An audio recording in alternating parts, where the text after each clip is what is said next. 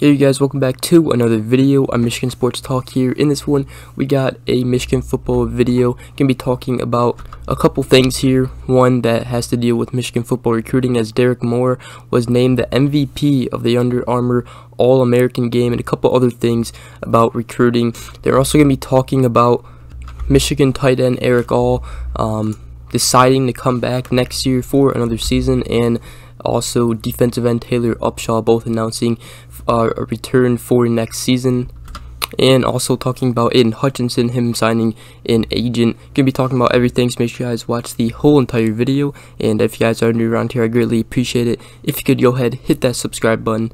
And other than that, let's get right into today's video.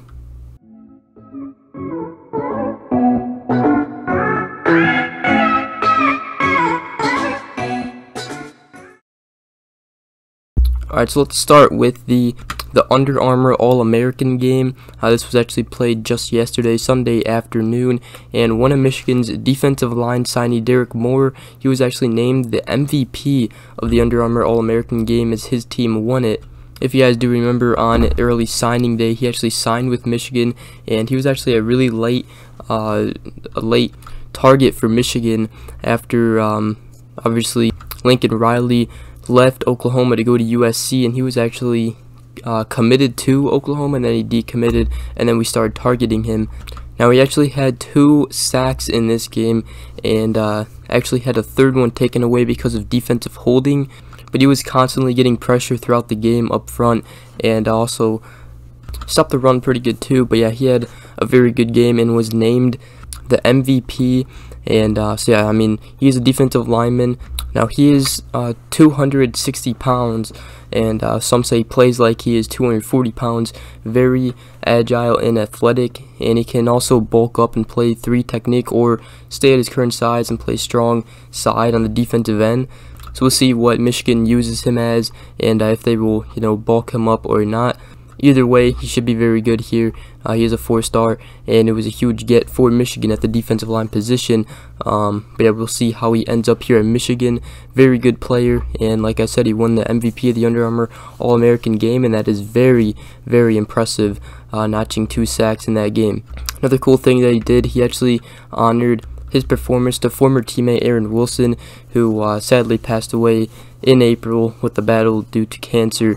He actually wore a t-shirt with Wilson's picture on it throughout the game, and uh, so yeah, Wilson's parents were also in attendance for that one, so that's very cool.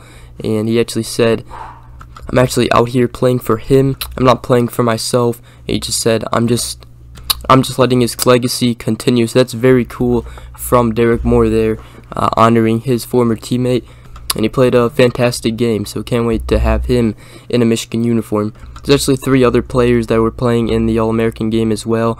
Uh, Keon Sabb, Will Johnson, and actually three-star wide receiver Morion Walker was also in that game. Um, Will Johnson played great. Keon Sabb also did as well. Um, also, Morion Walker can definitely see some of the potential in him. Um, however, he you know still has to get better. Definitely see the skill in him.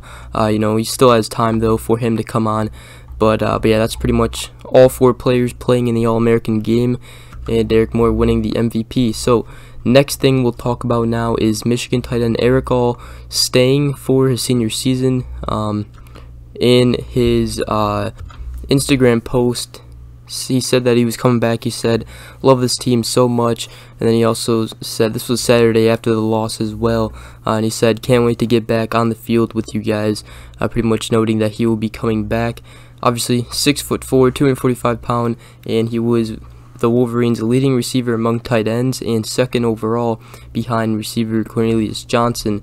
He should be a key factor factor in the offense next season, and it's great to have him back.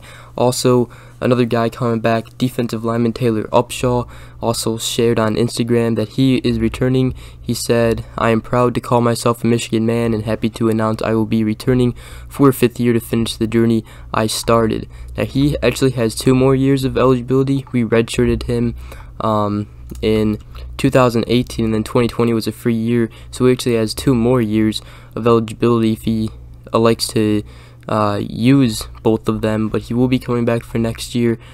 So yeah, very cool about that. Erick All, He had 42 catches for 500 yards and two touchdowns during the season. One of them obviously saved our our season. It was like a 42 yard touchdown reception against Penn State for the go ahead uh, winning drive in that game to really save our season. He also led the team in receiving during the Orange Bowl with four catches for 63 yards and a one of them was a 17 yard reception so it would be very very good to have him back and uh, so yeah. And then Taylor Upshaw this season he actually struggled with an injury uh, but in the middle of the year midway through the year but he did still register seven tackles uh, four and a half stops or tackles for loss and two and a half sacks um, while adding three quarterback hurries so uh, we'll see how he does next season, and hopefully, you know, it's a big year for him. Uh, but it's very good to have, you know, leadership like him on the team on the defensive side and helping the young guys. So very cool for him to come back. And uh, then the next thing and last thing I will probably talk about in this video, Hutchinson actually signed with an agent. So uh, Aidan Hutchinson signed with Mike McCartney and James Moton of Priority Sports, uh, ESPN senior um, NFL Insider Adam Schefter reported that on Saturday. So the all-time sack leader of, in Michigan uh, with 14 sacks going to the NFL. And hey, he could be the number one pick in the NFL draft. Maybe even the Lions can pick him up. Hopefully the Lions can pick him up. That'd be awesome to have him in a Detroit Lions uniform. Maybe go see him again uh, live in game for all the Michigan fans. But yeah, I mean, Hutchinson talked obviously after the game and everything and said, uh, you know, that he knows this team will be fine. We have, you know, the seniors on this team have uh, set the tone, and he talked to players on the team, you know, during their loss that, uh, you know, they, they got to step up and be leaders. And pretty much he, he said that this team knows what it takes now. And uh, he said that we'll, we'll be in good position and this program will be left in good position with leadership to, uh, you know, go ahead and and uh, set the standard for other classes coming in. It was a huge season for him, and I'm uh, very glad he came back. Really set the tone for Michigan football. But yeah, that's pretty much everything. Talked a little about recruiting. Derrick Moore winning the MVP of the Under Armour game. Will Johnson, Keon Sabb, Morion Walker also played in that.